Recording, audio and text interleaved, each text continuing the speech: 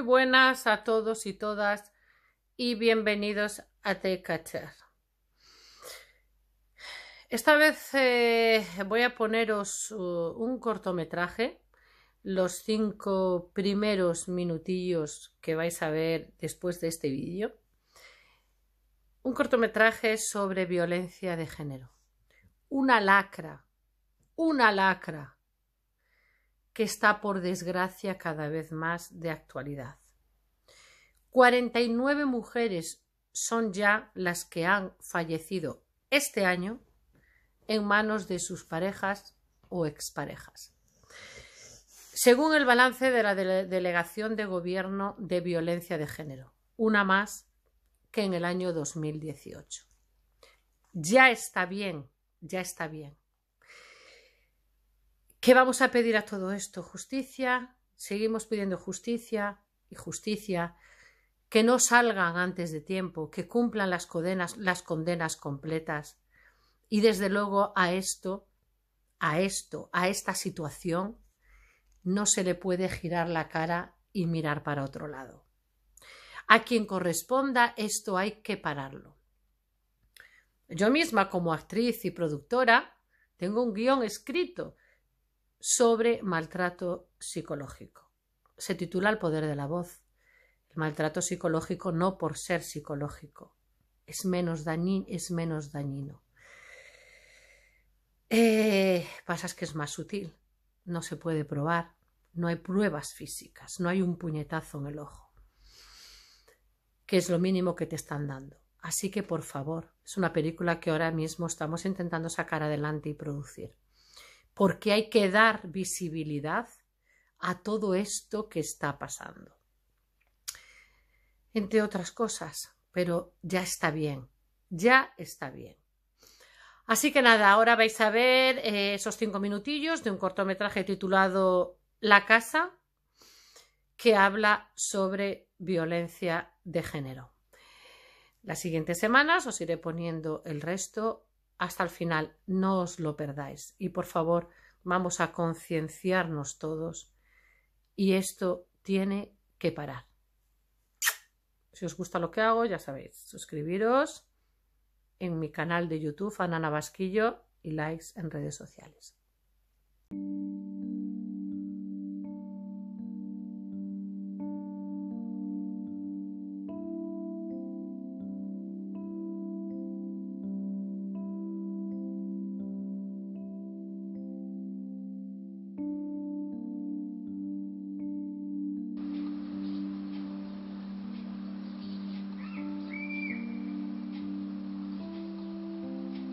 Habrá sido de ellas?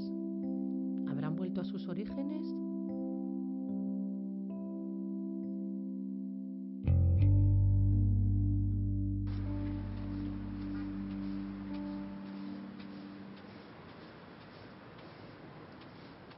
Hola, buenos días. Un momento. Buenos días, dígame. Soy Irene. ¿Sí? Irene López. ¿Sí? Trabajé durante un tiempo aquí en la casa con las chicas y venía a saludarlas. ¿Aquí, a esta casa? Sí. Eso no es posible. Esta casa está vacía. ¿Cómo que vacía?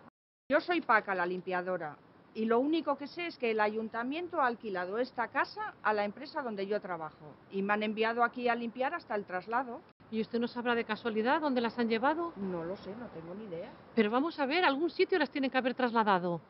A ver, señora, las habrán trasladado, pero le digo que yo soy la limpiadora y que no sé nada. Y por favor, no me entretenga que tengo mucha tarea y me van a dar las 10 de la noche aquí. Bueno, pues discúlpeme, ¿eh? perdone por haberla entretenido. No pasa nada. Vamos, y sobre todo, gracias por su ayuda.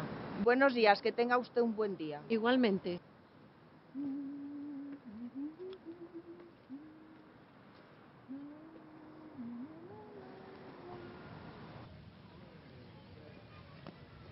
¿Irene? ¿Irene? ¿Irene, tía? ¿Pero qué coño haces aquí? ¡Ay, qué alegría verte! Pero bueno. No te puedes ni imaginar el tiempo que llevo buscando. ¿De verdad? ¿Qué tal? ¿Cómo estáis? Joder, fatal.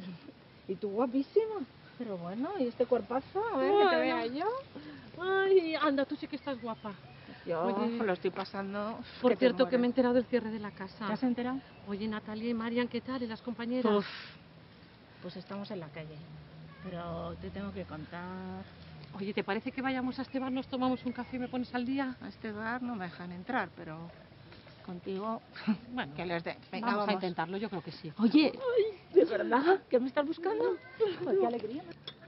Irene, me vas a tener que pagar el café, no tengo un puto pavo. Sí, no te preocupes ahora por eso. Y cuéntame. Nos han cerrado la casa. Y yo no me acostumbro a vivir fuera de ella. Todos los días tengo que venir por aquí. Y yo he vuelto a la calle. Si es que no tengo ni para pagar la pensión. Y con la crisis no hay clientes. Además, yo ya no tengo edad para esto. Les gustan las jovencitas. En fin, yo no sé qué va a ser de mí. Merche, todo lo que me estás contando es horrible. Oye, por cierto, ¿te apetece comer algo? No tengo ni hambre, gracias. ¿Y qué sabes de tus compañeras? Pues mira, Natalia y Marian duermen en la misma pensión que yo y, y las tres estamos muy jodidas. Comemos de la caridad, de los bares cercanos que nos conocen. Hemos dejado de fumar, no tenemos ni para tabaco. Por cierto, ¿no tendrás un cigarrillo? Oh, Toma. Oh, Toma, anda.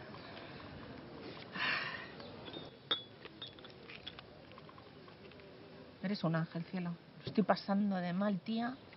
Ah. Y encima a Natalia le está buscando su marido. ¿Tú crees?